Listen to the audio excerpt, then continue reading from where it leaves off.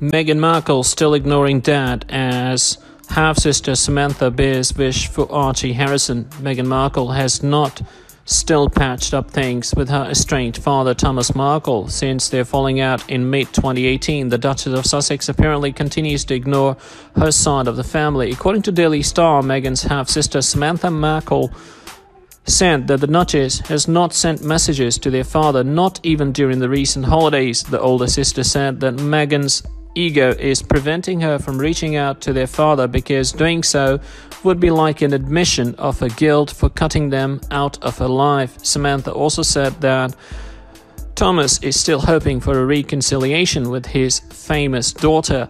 Meghan's side of the family have not even met their new relative, baby Archie Harrison, and Samantha believes that his mother is raising the boy with a tunnel vision existence. Archie's aunt however, hopes that the young royal will grow up to be a flaming liberal who will seek and get to know this side of the family. However, she also hopes that they will still be alive when Archie tries to locate his relatives on his mother's side. Meanwhile, Meghan's nephew, Thomas Dooley Markle, is in the news again as he appeared in court on Tuesday, January the 7th.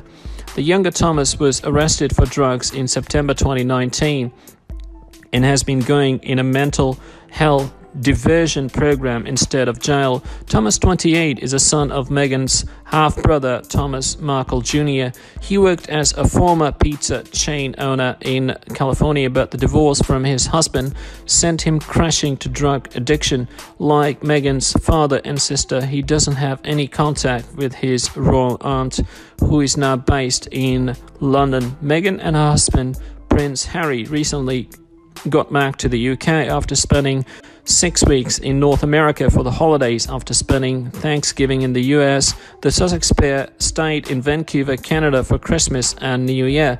According to Daily Mail, musician David Foster helped set up Prince Harry and Meghan's Canadian visit by finding a waterfront compound in North Saanich in the island. Foster is a Canadian who said that he was really happy to assist the Royals as they took the time off away from London.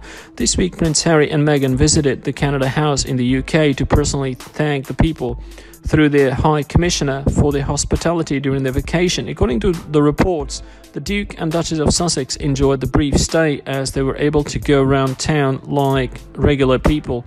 Prince Harry and Meghan went hiking at the Horth Hill Regional Park and even sampled various local dining places during their Canada trip. It looked like the royal pair did savor their much needed respite.